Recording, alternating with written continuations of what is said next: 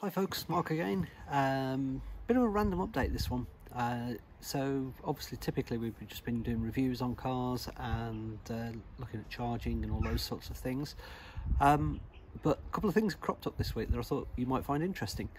Um, so first, first thing is regarding uh, GridServe. Uh, I've talked about these in the past through some of my other videos uh, and also been a bit critical about the old Ecotricity chargers that have been poorly maintained. Uh, anyway, I found out this week that um, subsequent to acquiring, I think it was about 25% of Ecotricity a few months ago, uh, apparently last week uh, GridServe acquired the whole side of the uh, electric highway business that they've got. And sure enough, um, basically they've taken it over and uh, they're continuing with their plans to completely overhaul the uh, Ecotricity charging network. So that's great news because I think that's one of the biggest issues is on motorways, dual carriageways and stuff. Um, the Ecotricity chargers haven't been cut, cutting it and uh, hopefully we've got a fix to that coming up very soon. Uh, but a little bit more on that in a little while. Uh, the other thing that sort of I found out as well uh, a few days ago, it was announced that ZapMap we're going to offer a, a ZapMap Plus and a ZapMap Premium uh, subscription. Now, again, uh, I've talked about ZapMap in the past as the must-have app for charging for EV owners. And uh, the interesting thing about this is some of the changes that they've made and made available through their premium product. So if you've got ZapMap, the way you need to do this, firstly you need to upgrade to the latest version, which is version 7. Uh, and then once you've opened the app, you go to the settings screen and one of the options on there is subscriptions. And if you click on the subscriptions option, then what you're going to see are the different premium, uh, different subscription options they've got. So it's still free to use if you want to, uh, and there'll be ads and all those sorts of things. But there are a couple of chargeable options, uh, and you can either you can get free trial for both of the options, or, or alternatively you can just take an annual subscription, which is half the price of doing a monthly subscription. Now I'll let you guys decide whether you think it's worthwhile or not subscribing. Um, but personally I think as I'm going to start doing business travel uh, in the near future uh, I think the idea of uh, some of the extra options I think they're going to be really quite useful to me and we'll talk about what some of those are. Um, so um, when you actually look at the subscriptions plans you can actually click on an option and actually look at them in detail uh, and then you'll get the tick boxes side by side comparing them. Uh, but there's two or three features that really appeal to me. Uh, the first is the ability to filter out and just find new chargers and um, that you know is really quite interesting. I'm really trying to avoid old chargers because i've found them too unreliable but the, the, new chargers i've just found have been absolutely fantastic. So uh, certainly filtering by new chargers has been pretty good um, there's a few other things as well. Um, what three words is interesting. I don't know whether any of you have ever used what three words. I, have used it for quite a while because um, as a hobby I'm a geocacher. Google it if you don't know what it is. Uh, but it's like a treasure hunting game and you use longitude, latitude coordinates to, to find pieces of Tupperware hidden in woods and stuff like that and what three words came out a few years ago uh, as a way of basically navigating you to a three meter square area uh, of, the planet anywhere on the planet. Um, and uh, some geocachers have used those in puzzles. Um, but to be honest I find them really quite useful because from a, a, a point of view you know it's all right navigating to a postcode if you're in a built up area but if you're out in the countryside um, and you want to find somebody, then you know where are they?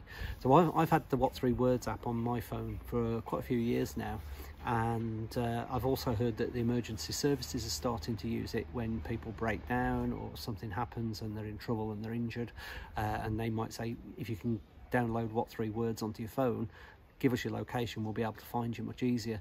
Um, so I'd recommend you look at that anyway, regardless of ZapMap. Um, but if you do go to that map now what you'll find is all the chargers have got a What Three Words location uh, if you use the Plus and the Premium option. Now, what that means is that uh, there's none of that driving round uh, streets in an area trying to find out where the charger is.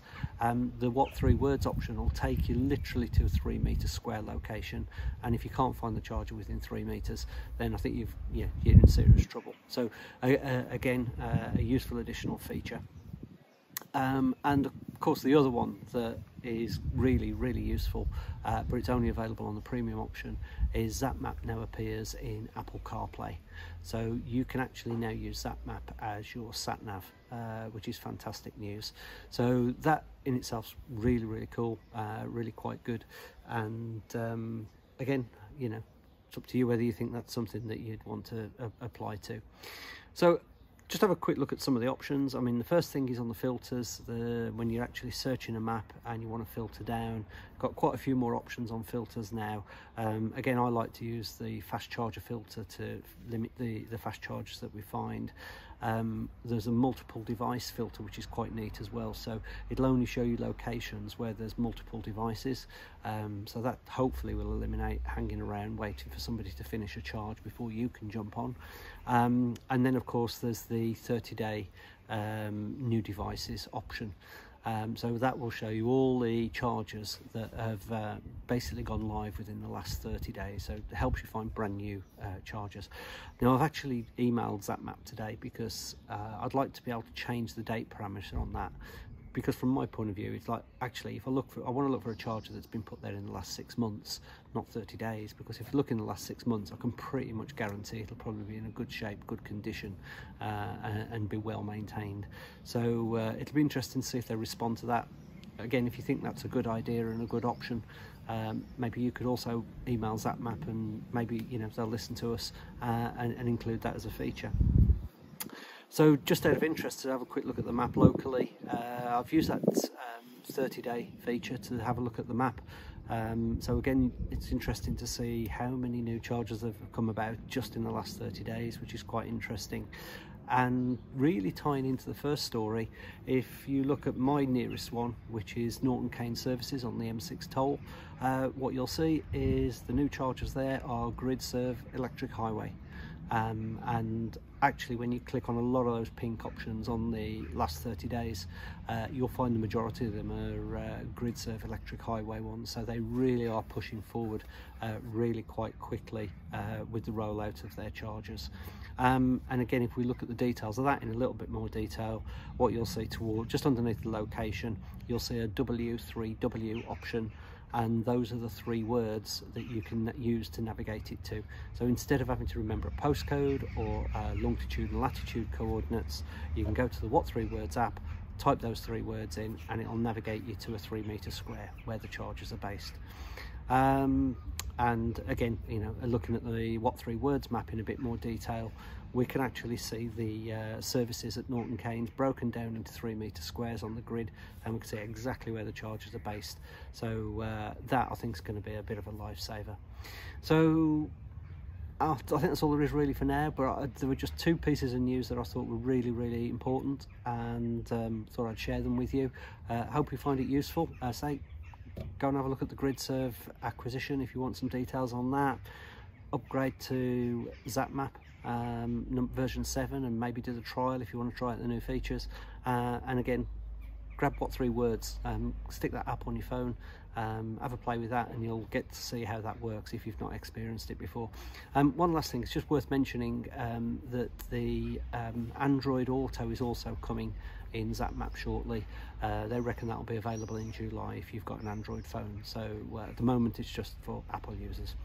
Anyway thanks for listening again and hopefully speak to you soon